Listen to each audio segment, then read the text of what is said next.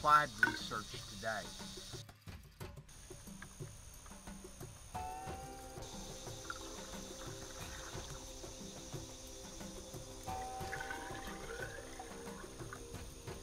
And we use two or three rinses so that the chemicals don't carry over from one setup to the next.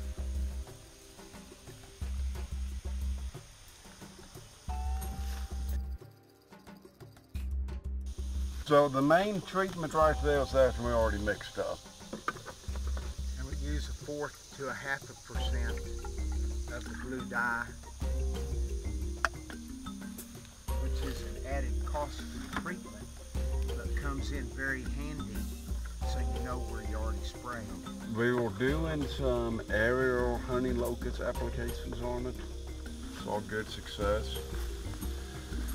However, we had not done any IPT applications.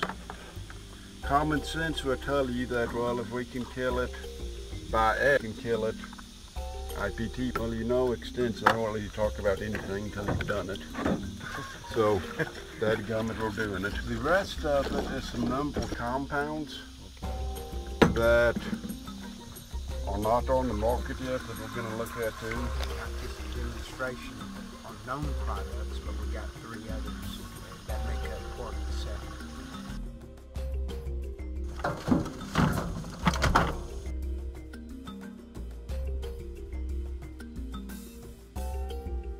What did we block through out there, Reggie? Okay. Yeah, there could be some winged elm in there, but it looks like a lot of honey locusts.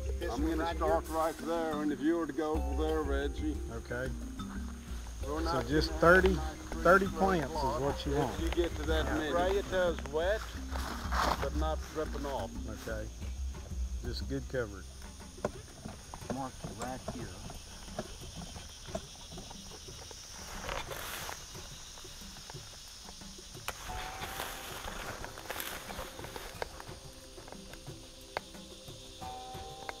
You're six foot tall, right? Uh, a little bit under.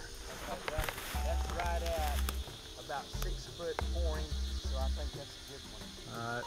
You'll, I can see how you're spraying it and you're putting it all over.